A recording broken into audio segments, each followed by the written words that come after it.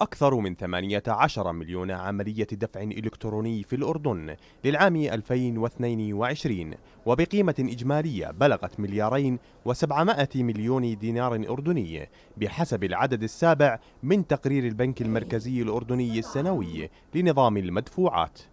التقرير أشار لزيادة استخدام نظام الدفع الفوري سواء من خلال المحافظ الإلكترونية أو من خلال الحسابات البنكية الأمر الذي يؤكد تطور استخدام أنظمة وقنوات الدفع الإلكتروني في المملكة. عمليات الدفع الإلكتروني والمحافظ الإلكترونية هي شكل آخر من أشكال تطور الخدمات الإلكترونية اللي بتقدمها القطاعات المالية المختلفة من خلال المؤسسات المختلفة سواء كانت حكومية أو مؤسسات خاصة عملية في توسع وفي ازدياد ملحوظ جدا. عدد المحافظ الإلكترونية في القطاع المصرفي تجاوز 2 مليون محفظة أو أكثر من 2 مليون محفظة لعدد مستخدمين أكثر من 2 مليون بحجم عمليات تقريبا 260 مليون دينار.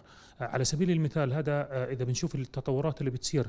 شهر عن شهر في معدلات نمو متزايدة بشكل مستمر في أعداد المستخدمين من أنظمة الدفع الإلكتروني سواء أو استخدام برنامج كليك أو استخدام أو استخدام نظام الإي فواتيركم أو أي من هذه الخدمات اللي ممكن توفرها المؤسسات المالية والمصرفية أنشطة خدمات الدفع والتحويل الإلكتروني كان لها دور كبير للتقليل من الوقت والكلف والأعباء على المواطنين والمنشآت الاقتصادية والارتقاء بجودة الخدمات. بآخر سنتين الإقبال صار كثير كبير عليهن بسهولة الدفع الخدمات الموجودة عليها تحويل المصاري من شخص لشخص بسرعة كبيرة نظام الكليك كثير ساعد الناس بكون مش شايل المصاري بيقدر يشتري أي سلعة بده إياها بطريقة آمنة ويحفظ فلوسه على على نفس المحفظة أو على نفس تطبيق البنك اللي بيستخدمه. خدمة الكليك من من بنوك لبنوك نفس الشيء. قللت هي قللت الحوالات بس سهلت على على العملاء إنه أنت في بيتك تحول تستلم فلوسك وتحول للناس فلوسها بدون ما تتغلب وتطلع وأزمة البنوك وأزمة الشوارع.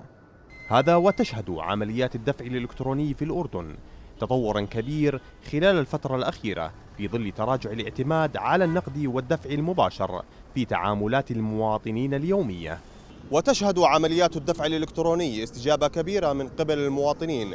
الأمر الذي ينعكس إيجابا على قطاع المدفوعات في الأردن. عامر العجارمة التلفزيون الأردني.